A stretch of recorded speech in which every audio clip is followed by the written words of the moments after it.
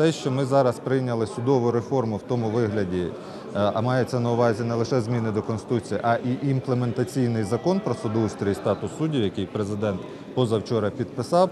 Ну, як на мене, це ем, той приз, який український парламент вручив українському суспільству за цю за, за все своє скликання. Найголовніший приз. А тепер головне ці е, надзвичайно е, позитивні і е, ефективні потенційно речі втілити в життя. Бо ми можемо прийняти суперзакони, але потім вони не виконуються, тому що корупціонери і злочинці ну не мають такого бажання.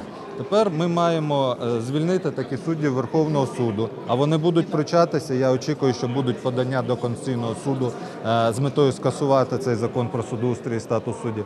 Ми маємо звільнити і прибрати вищий адмінсуд, вищий господарський суд, е, як такі, що довели, що вони не є ефективною складовою судочинства, і вони теж будуть пручатись. Ми маємо набрати на Верховний суд нових людей за відкритими конкурсами і прослідкувати, щоб ці конкурси дійсно були чесними, відкритими і дали нам професіоналів, яких ми хочемо отримати в якості суддів Верховного суду. Для цього створена громадська рада доброчесності. Але створити раду доброчесності і забезпечити її роботу це різні завдання. Ми її створили. Тепер парламент, е, виконавча влада.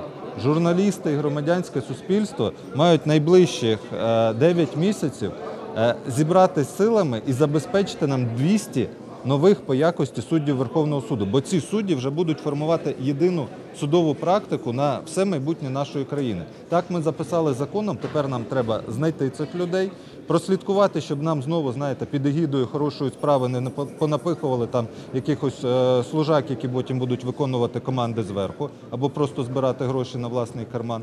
Ми дали всі необхідні інструменти і механізми. Тепер наша держава має цими інструментами скористатись. Держава це не лише влада.